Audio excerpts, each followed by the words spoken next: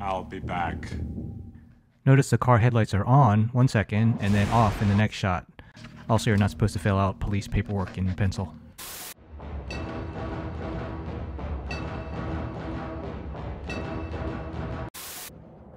So you're telling me that we're only five years away from AI killer robots destroying humanity? Actually, that sounds about right. This is actually amazing special effects for a 1980s movie on a shoestring budget. And by the way, before all the die-hard fans get pissed at me for making fun of their favorite movie, I'm a huge fan of the first two Terminator movies and James Cameron in general, and this is just a stupid video that I made pointing out all the random things I've noticed after repeated viewings. Hey, my turn. Rest in peace, Bill Paxton. Yo! Stop your grinning and drop your linen.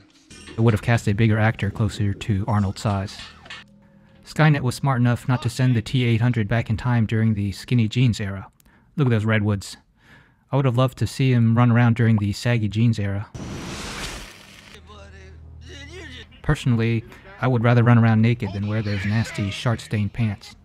And why are the cops even chasing him? LA in the 80s was a nightmare. They have better things to do than to chase another half-naked crackhead in an alley. That was easy. That was easy. Hey Reese, FYI, there are all kinds of pants that you could also grab as well. I'm pretty sure those shotguns are locked down. Also, you're not going to take any ammo? It's amazing. Downtown LA in 1984 looks exactly like it does today, except with a lot fewer zombies. I might be wrong, but in a city of 8 million residents, I think there'd be more than three Sarah Connors. Oh really? It's that easy to steal a car without any tools? In a viral TikTok video, Oh, never mind. No way a kid would waste his ice cream to prank a waitress. I was going to say something about being able to buy a fully automatic Uzi in California in the 80s, but it might actually have been legal back then. I'm not sure about keeping shotgun shells on the counter, though. But riddle me this. Why was he asking for a phased plasma rifle in the 40 watt range? If Skynet had archived all of the world's information before Judgment Day in 1997, surely it had records on the history of firearm development and knew that they didn't exist in 1984. You can't do that. That's not cool, man. Where did he get that hacksaw and shirt? Skynet should have upgraded the T-800's optical tracking sensor because it needs to use its finger here. And Skynet didn't archive all the publicly available white page listings before 1997? Ah, the good old days in California when you could leave your dog outside and they wouldn't get dognapped for a ransom. Sarah Connor? I think 99% of people in this situation would be running their asses off instead of watching a dude slowly aim a gun at their foreheads. Also, why does it sound like his gun has a suppressor on it? It appears the T1000 model got a software upgrade because it doesn't flinch like the T800 series every time it fires a gun. For some reason, Skynet has problems tracking targets and shooting accurately. In reality, humanity would be wiped out in a week because Skynet would be using drones with night vision, thermal imaging, laser rangefinders, auto tracking, and AI assisted aiming. Also, you'd be better off running on foot instead of getting into a car with floodlights. And how are you able to drive over all this wreckage? T shirt foreshadowing. A one-day pattern killer. Why do you assume it's one day? And they're called serial killers, which LA cops were well aware of by the 1980s. Man, you gotta love the 80s with the big hair when everyone smoked indoors and no one wore helmets or seatbelts.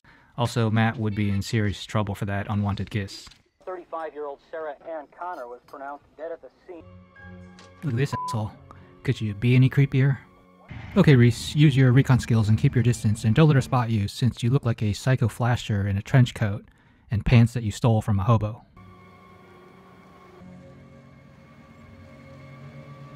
You're a fucking psycho.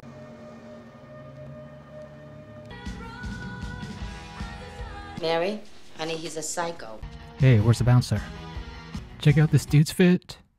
Pro tip you don't need to insert coins to call 911 in case you ever see a payphone anywhere and are being stalked by a Terminator from the future.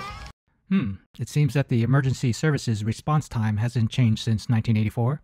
If a serial killer is trying to murder you, please press 1 and an agent will call you back in 2 hours.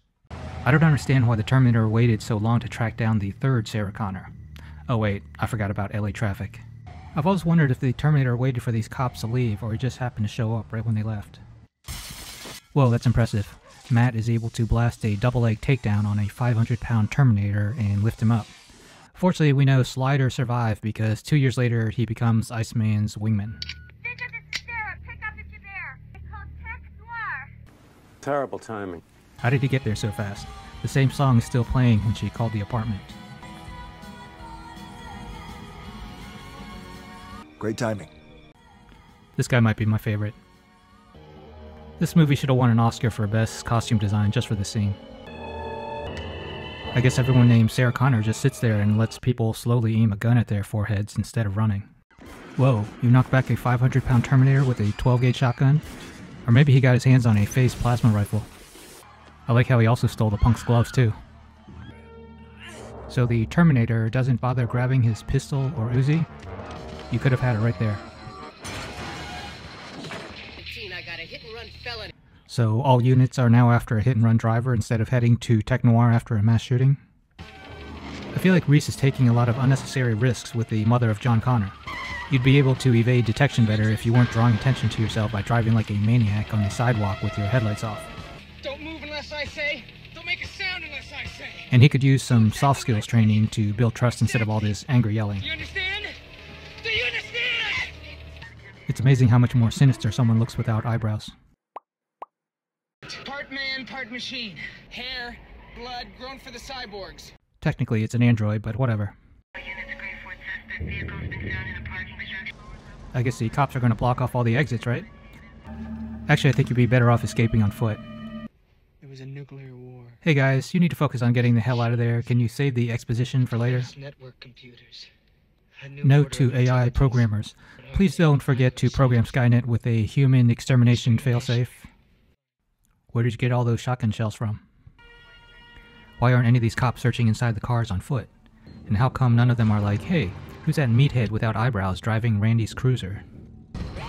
The 800 series is apparently terrible at multitasking and didn't notice it was driving into a wall.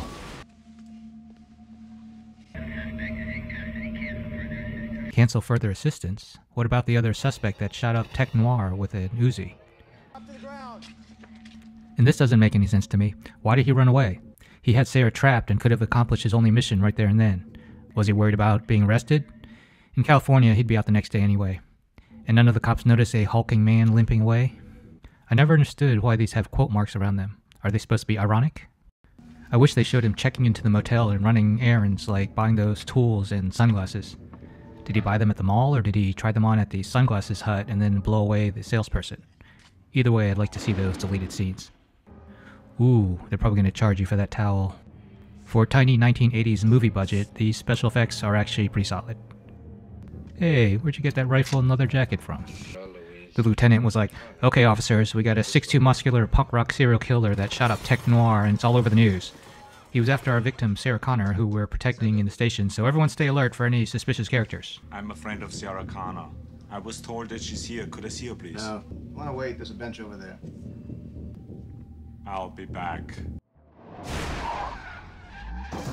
Yeah, he came back. The only weak link in this movie is the sound effect guy. This shotgun sounds like machine gun fire. And this guy's still on the phone after the car crash and shooting? I'm pretty sure a power outage would not cause all those lights to burst like that. Whoa, he just knocked that cop out by kneeing him in the chest. Where's all that body armor that you were just showing off? The Terminator should have just imitated Reese's voice. Hey Reese, there's all kinds of free weapons you could be grabbing, FYI. Cold. Freezing. What a gentleman. I assume he's gonna give her his jacket. Oh my god. You mean you got shot? It's not bad. Okay, forget it. No big deal, just an AR round that went through my arm, but it's not bleeding or anything. Just a flesh wound. Your son gave me a message to give to you. Thank you, Sarah, for your So John Connor called his mom by her first name? than you ima- I think those lights are giving away your position, including the one at your secret entrance. And it's really not a good idea to have fires burning in an enclosed basement. For years, I didn't notice that this Terminator was the late Franco Columbu, Arnold's former training partner and BFF. I don't know about these security protocols. Why you're letting them inside before checking them out? You can't have a checkpoint outside the door? You've got laser guns but no metal detectors? Or you could just check them for a red eye. With their eyes as red as the devil's dick. You're busted. So now that there's a massive manhunt for him, he forgets about the window and doesn't even bother hiding his machine gun. The Terminator don't give a fuck. I don't give a fuck. But I'm sure he'll travel more discreetly and definitely not on a motorcycle while holding an assault rifle. I am dying for a shower. Actually, Reese, you could use a shower too, since you haven't showered once in 1984 and have been running around with hobo swamp ass. The best thing you could do to save the future of humanity is to take a shower and to get some new pants, because otherwise, John Connor might not get born, if you know what I mean. I love you too, sweetheart. I like how he can imitate any person's voice perfectly just from hearing a few words. What did Sarah's mom say to him exactly? Hello? Who are you? Oh my god, no! Nice night for a walk. And the Your Terminator clothes. could blend in more if he didn't select the Give Conan women- the Barbarian thick Austrian accent option. I love you too, sweetheart. Hmm, that's weird. My mom has never told me she loves me before. Uh, that's all you got, Reese? You could have picked up some Pringles or something, and maybe some khakis from Old Navy.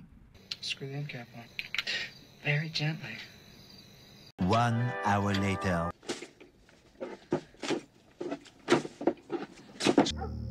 Did that dog also come back from the future? I feel like a real Terminator would acquire a target first instead of the old spray and pray. That must be a souped up pickup if that motorcycle can't catch up with it. I hope future Terminator software updates include the capability to shoot out car tires. So you're telling me this 18 wheeler was driving at 60 miles an hour on a well lit bridge towards an overturned pickup and wrecked out motorcycle and man in the road and didn't even slow down to rubberneck? You know got warrants, Billy Bob. I can't go back to prison. Just drive, man, just drive. Come on. Say what you will about Reese, but this guy can rally like no one. He goes from unconscious to running in two seconds flat. There's no way he'd have time to pull out his bomb and light the fuse that quickly. Damn, Sarah Connor has some wheels if she can outrun that truck. Oh, thank God it's over. He's dead, just like Jason in Halloween, so we can all breathe a sigh of relief. Why won't you die? So he can't track us. Just leave him, Sarah. He's unconscious. There's no way he'll be able to. Oh, this guy's good. I can rally. I will rally. I guess the Terminator doesn't know how to turn off machinery. Game over, man. It's game over.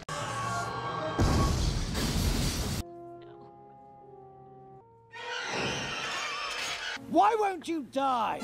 You're terminated. I'm pretty sure she would be electrocuted. They obviously had to reshoot these scenes with this kid because they used two different kids a younger boy and an older, taller, skinnier one.